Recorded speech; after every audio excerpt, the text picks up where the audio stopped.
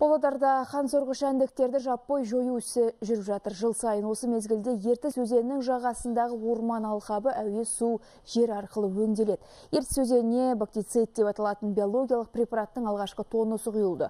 Бұл препарат маса шіркейлердің нағыз қанаттанатын кезінде қолданылады.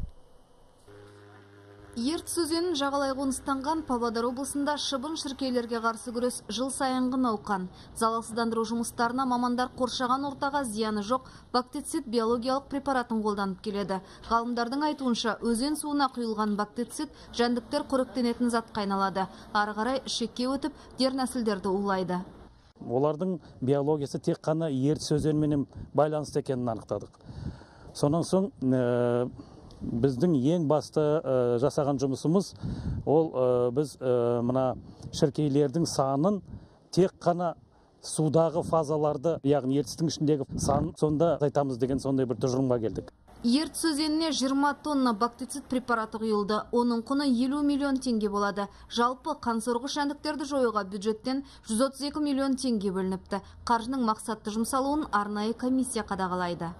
Это наш первый выезд будет еще один. Бұл біздің алғашқы шығуымыз тағы бір рет шығамыз деп жоспарлап отырмыз. Науқанға жұмсалатын шығындардың бәрін қадағалайтын боламыз. Қазір масалардың нағыз қанаттанатын кезі. Оларды көтерілмей тұрып жою нәтижелі болады. Ертіс алқабы заманауи құрылғылармен және химиялық препараттардың көмегімен залалсыздандырылады.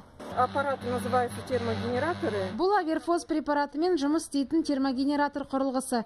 Тиімділігі өте жоғары. Түтінмен таралатын дәрі жапырақтар мен шөптерге жабысып қалады. Қансорғыш жәндіктерді жою жұмысы әуе арқылы да жүргізіледі. Жоспар бойынша биыл 10 мың гектар алқап өңделеді екен.